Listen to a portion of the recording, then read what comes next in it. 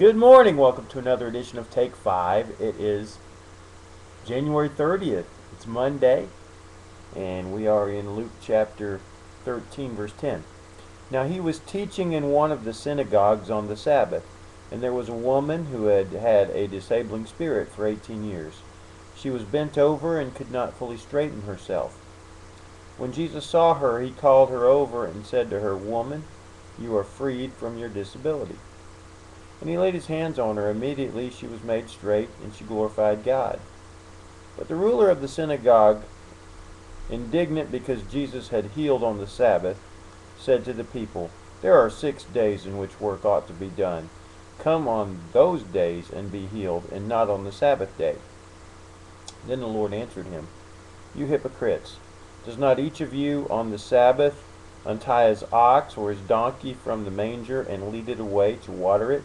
And ought not this woman, a daughter of Abraham, whom Satan bound for eighteen years, be loosed from this bond on the Sabbath day?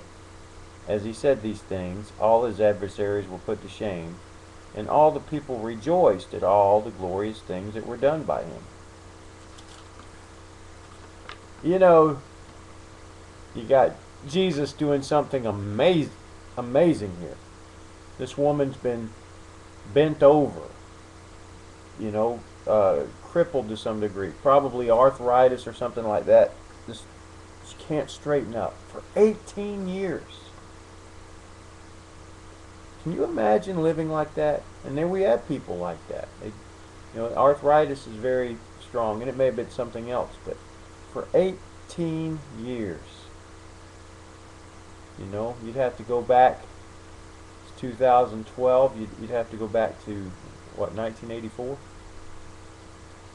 Okay? That's how long she had this. And so Jesus heals her instantly.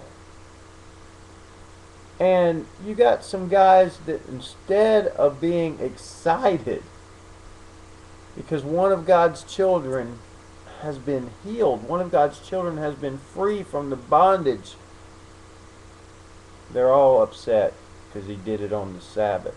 And see, this is when your religion has gone wacky.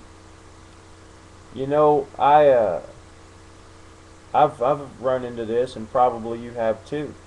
Uh, I had there was an event that a lot of people in the church thought everybody was supposed to be part of, and um, I had some car trouble, and I had a brother helping me out with my car because my car wouldn't go anywhere. And there were some people got upset saying, well, you should have just come on down and could have fixed your car later. You know, that's what it's talking about here. Now, I believe attending church and church activities and things like that very important.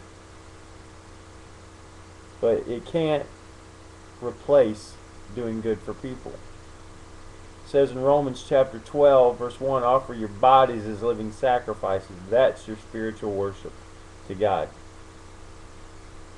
So be more concerned about serving and loving your fellow man than being all legalistic about rules and things like that. Okay?